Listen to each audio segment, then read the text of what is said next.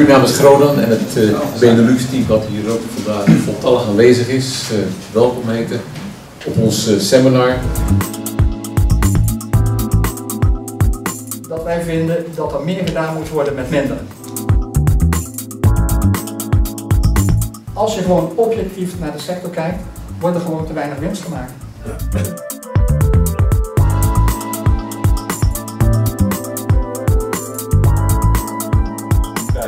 Een heel mooi verhaal zijn, maar als we het niet kunnen toepassen in de praktijk, dan houdt het eh, ook erbij op.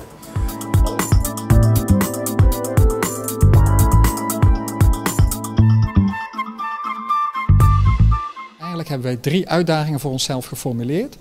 We vinden dat er meer met minder gedaan moet worden om de wereld te sparen en de, uh, de mensen te voeden.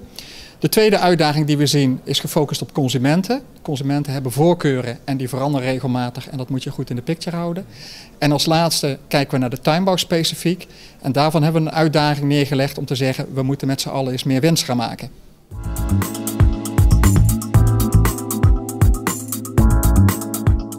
Wij uh, zien twee hoofdoplossingen voor die drie uitdagingen.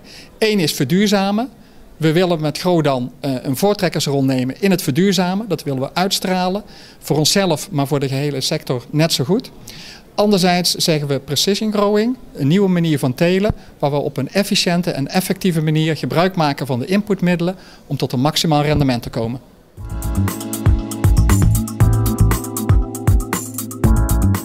In het verleden waren veel tuinders die waren bezig met de plant, met het klimaat, om daar de plant in balans te brengen, om daar maximale productie uit te halen.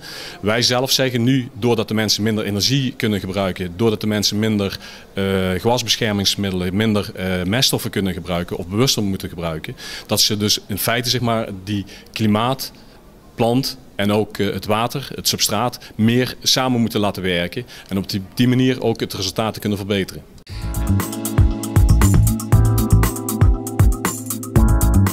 Proberen heel veel te doen door middel van eh, mailadviezen die we geven, waar we de eigenschappen van onze producten proberen aan te geven in de relatie tot de plantfase die, uh, waar de plant zich in bevindt. Dat noemen we het zesfase model.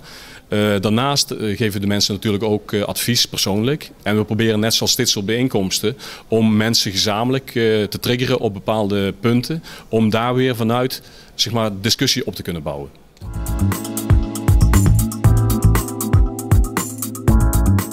Ik zie dit echt als een kans om nog meer, beter je maximale productie te halen.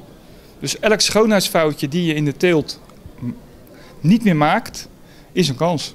Kijk, dit soort uh, dagen zijn altijd nuttig. Je steekt er altijd iets van op. Uh, vanochtend uh, had Jos een, iets leuks om toch in de ochtenduren iets meer drain te realiseren. En ja, dat is toch wel weer een leermoment voor mij.